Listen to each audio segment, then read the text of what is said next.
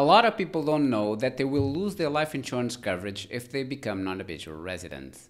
In this video, I'm going to tell you how you can get the life insurance coverage you need as a non-habitual resident so you can solve this problem. Hi, I'm Diogo Marques. I'm a life insurance broker. We help you with your insurance coverage and investments when moving abroad. With golden visas and non-habitual resident processes, a typical situation we see is a British couple that has become expats and now are residing in Portugal. Back in the UK, they have property and now took out a life insurance policy to cover their mortgage.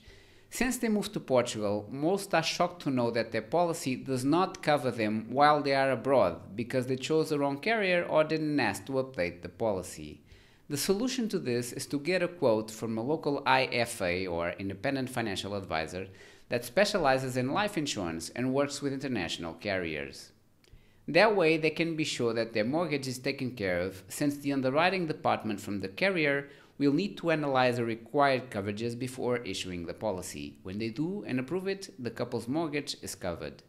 It's details like this that most often than not expats miss throughout the process. The devil is in the details. Not all individuals or companies will be affected by this specific situation, but there are more situations you need to take care of as every individual or company will have a different set of particularities. It can be a mortgage, a full portfolio of real estate investments, lack of buy-sell agreements in place, inheritance tax and probate situation, and all sorts of specific tax inefficiencies in between both countries. See, all these sorts of situations can take money out of your pocket unnecessarily, since the process wasn't well taken care of from day one. So it is important to deal with a local IFA or independent financial advisor surrounded by the right team so they can show you your available options when you are moving abroad. Here we do exactly that. We have an experienced legal and finance team where their job is making sure that all the T's are crossed and all the I's are dotted so you can be safe.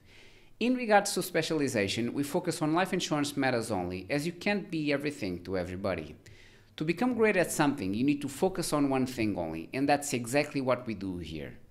We are also backed up by the largest life insurance carriers, some of them have been in business for more than 150 years. Like everything in life, it's all about connecting with the right people.